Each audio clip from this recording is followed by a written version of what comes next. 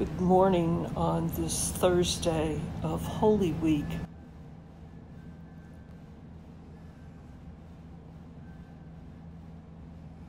To the Lord our God belong mercy and forgiveness, because we have rebelled against him and have not obeyed the voice of the Lord our God by following his laws which he set before us.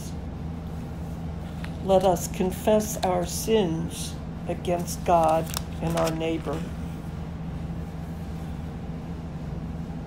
Most merciful God, we confess that we have sinned against you in thought, word, and deed, by what we have done and by what we have left undone. We have not loved you with our whole heart. We have not loved our neighbors as ourselves. We are truly sorry and we humbly repent. For the sake of your Son, Jesus Christ, have mercy on us and forgive us, that we may delight in your will and walk in your ways, to the glory of your name. Amen. Almighty God, have mercy on us. Forgive us all our sins through our Lord Jesus Christ. Strengthen us in all goodness, and by the power of the Holy Spirit, keep us in eternal life. Amen. Lord, open our lips, and our mouths shall proclaim your praise. Glory to the Father, and to the Son, and to the Holy Spirit, as it was in the beginning, is now, and will be forever. Amen. The Lord is full of compassion. Come, let us adore him. Let us say the Venite together. It is on page 82 of the Book of Common Prayer. Come, let us sing to the Lord. Let us shout for joy to the rock of our salvation. Let us come before his presence with thanksgiving and raise a loud shout to him with psalms. For the Lord is a great God and a great King above all gods. In his hands are the caverns of the earth, and the heights of the hills are his also. The sea is his, for he made it, and his hands have molded the dry land. Come, let us bow down and bend the knee and kneel before the Lord our Maker. For he is our God, and we are the people of his pasture and the sheep of his hand. Oh, that today you would hearken to his voice. Glory to the Father, and to the Son, and to the Holy Spirit, as it was in the beginning, is now, and will be forever. Amen. The Lord is full of compassion and mercy. Come, let us adore him. The appointed psalm for the day is number 116 on page 759 of the Book of Common Prayer. I love the Lord because he has heard the voice of my supplication because he has inclined his ear to me whenever I called upon him. The cords of death entangled me, the grip of the grave took hold of me. I came to grief and sorrow. Then I called upon the name of the Lord. O Lord, I pray you, save my life. Gracious is the Lord and righteous. Our God is full of compassion. The Lord watches over the innocent. I was brought very low, and he helped me. Turn again to your rest, O my soul, for the Lord has treated you well. For you have rescued my life from death, my ear, my eyes from tears, and my feet from stumbling. I will walk in the presence of the Lord in the land of the living. I believed even when I said I had been brought very low in my distress. I said, No one can be trusted. How shall I repay the Lord for all the good things he has done for me? I will lift up the cup of salvation and call upon the name of the Lord. I will fulfill my vows to the Lord in the presence of all his people. Precious in the sight of the Lord is the death of his servants. O Lord, I am your servant. I am your servant and the child of your handmaid. You have freed me from my bonds.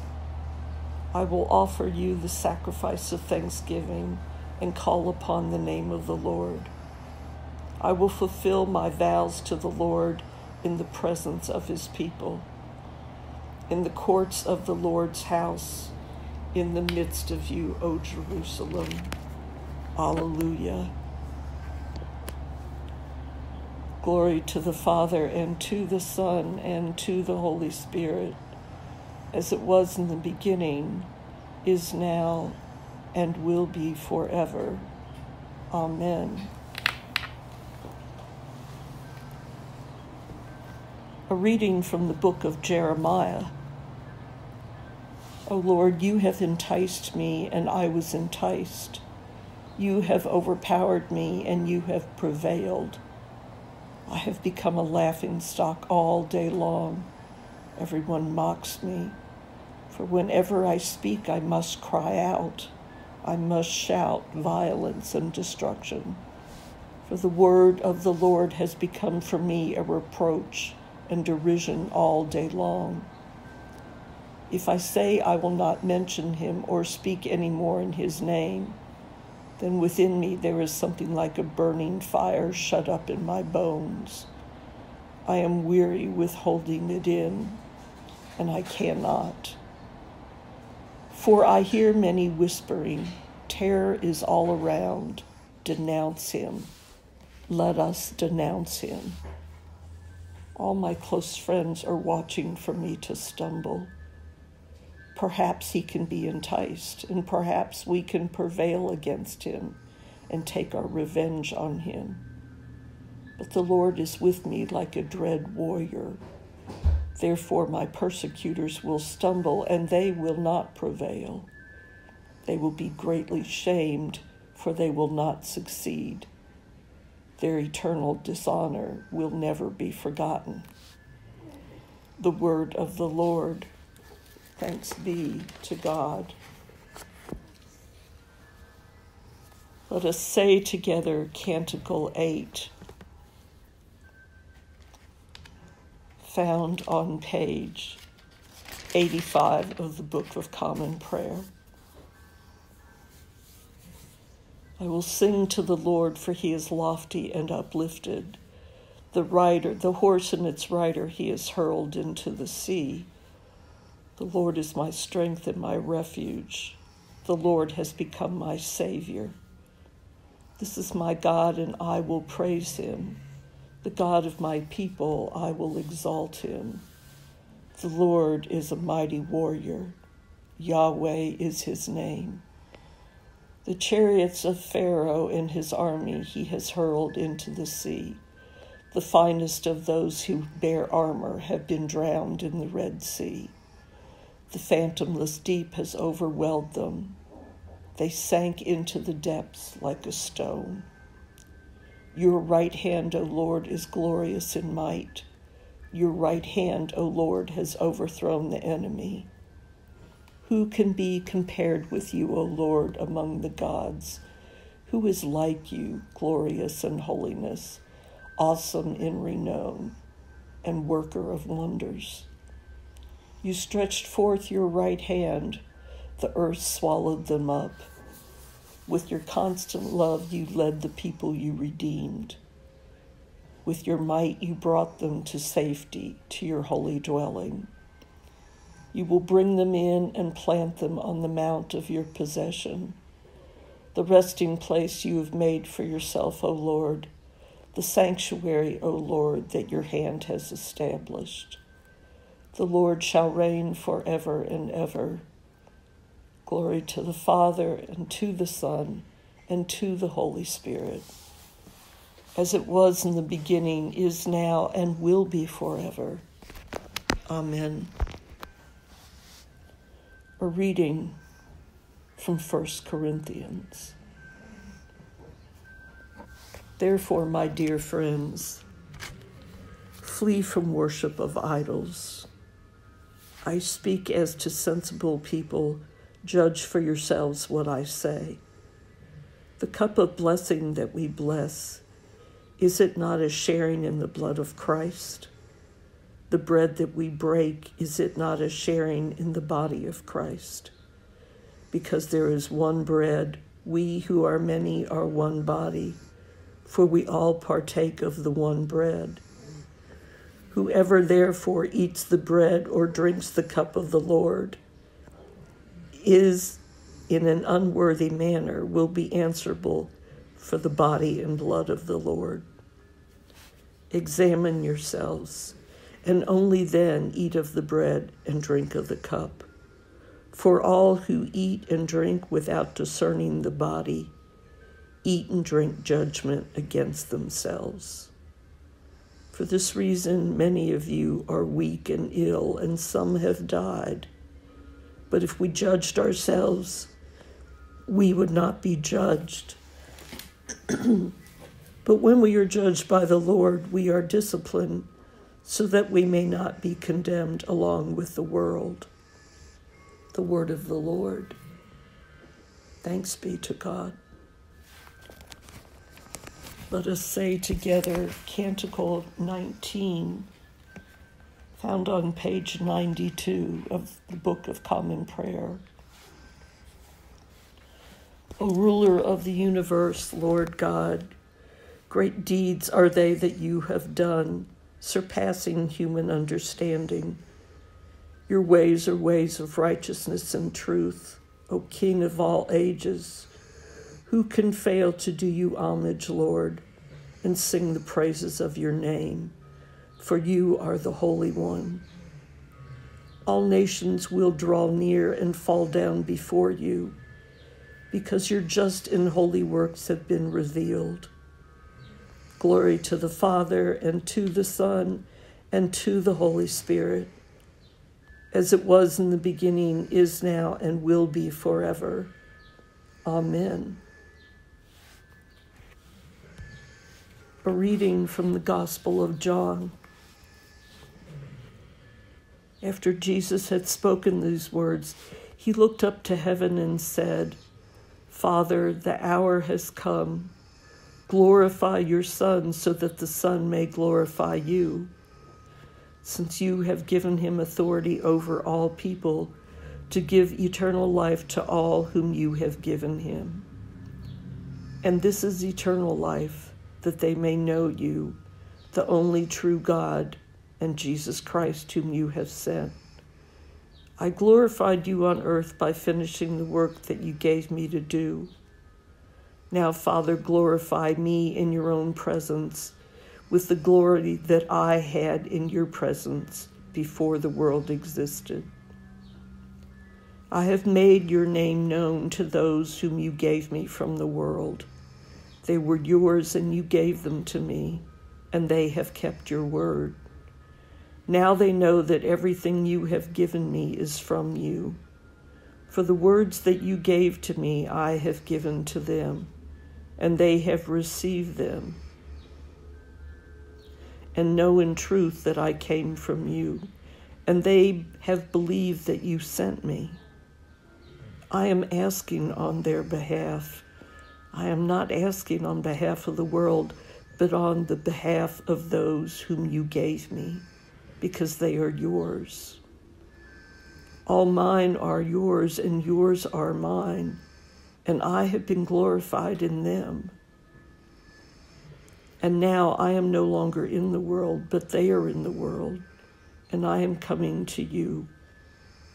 Holy Father, protect them in your name that you have given me so that they may be one as we may be one. The word of the Lord. Thanks be to God. Let us say together the Apostles' Creed. I believe in God, the Father Almighty, creator of heaven and earth. I believe in Jesus Christ, his only Son, our Lord. He was conceived by the power of the Holy Spirit and born of the Virgin Mary. He suffered under Pontius Pilate, Pontius Pilate, was crucified, died, and was buried. He descended to the dead. On the third day, he rose again and ascended into heaven and is seated at the right hand of the Father. He will come again to judge the living and the dead. I believe in the Holy Spirit, the Holy Catholic Church, the communion of saints, the forgiveness of sins, the resurrection of the body, and the life everlasting. Amen. Our Father in heaven, hallowed be your name. Your kingdom come, your will be done on earth as in heaven. Give us today our daily bread. Forgive us our sins as we forgive those who sin against us. Save us from the time of trial and deliver us from evil. For the kingdom, the power, and the glory are yours now and forever. Amen. Show us your mercy, O Lord, and grant us your salvation. Clothe your ministers with righteousness. Let your people sing with joy. Give peace, O Lord, in all the world, for only in you can we live in safety. Lord, keep this nation under your care and guide us in the way of justice and truth. Let your way be known upon earth. You are saving health among all nations. Let not the needy, O Lord, be forgotten, or the hope of the poor be taken away. Create in us clean hearts, O God, and sustain us with your Holy Spirit. Almighty Father, whose dear Son, on the night before he suffered, instituted the sacrament of his body and blood, mercifully grant that we may receive it thankfully in remembrance of Jesus Christ our Lord, who in these holy mysteries gives us a pledge of eternal life, and who now lives and reigns with you and the Holy Spirit, one God forever and ever.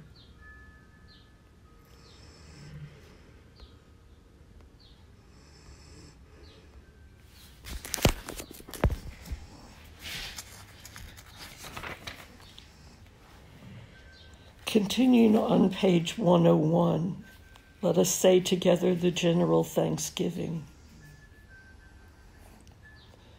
Almighty God, Father of all mercies, we, your unworthy servants, give you humble thanks for all your goodness and loving kindness to us and to all whom you have made.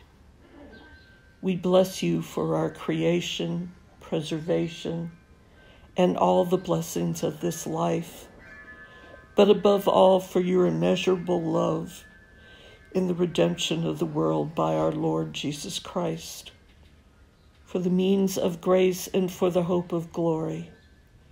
And we pray, give us such an awareness of your mercies that with truly thankful hearts we may show forth your praise, not only with our lips, but in our lives, by giving up ourselves to your service and by walking before you in holiness and righteousness all our days through Jesus Christ our Lord, to whom with you and the Holy Spirit be honor and glory throughout all ages. Amen. Let us bless the Lord. Thanks be to God. May the God of hope fill us with all joy and peace in believing through the power of the Holy Spirit. Amen.